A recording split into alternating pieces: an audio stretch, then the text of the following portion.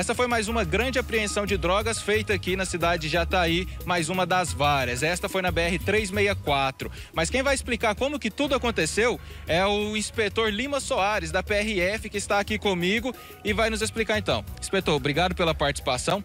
Como foi que a PRF conseguiu chegar até este criminoso?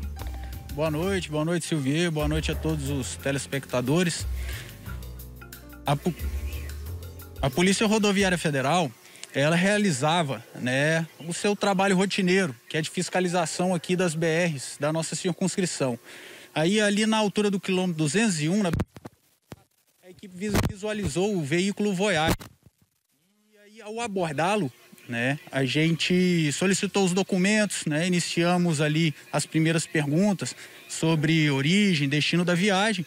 E já nessas perguntas ele apresentou na, nessa, nas respostas dessas apresentou algum nervosismo, né, alguma não conexão entre as respostas, o que motivou a equipe buscar né, mais minuciosamente no interior do veículo né, a, se havia algum ilícito. E ali, verificando a estrutura do veículo, foi localizado em um esconderijo na estrutura né, 52 quilos de pasta base de cocaína né? O que gera aí para o crime organizado um prejuízo financeiro da ordem de mais de 6 milhões de reais.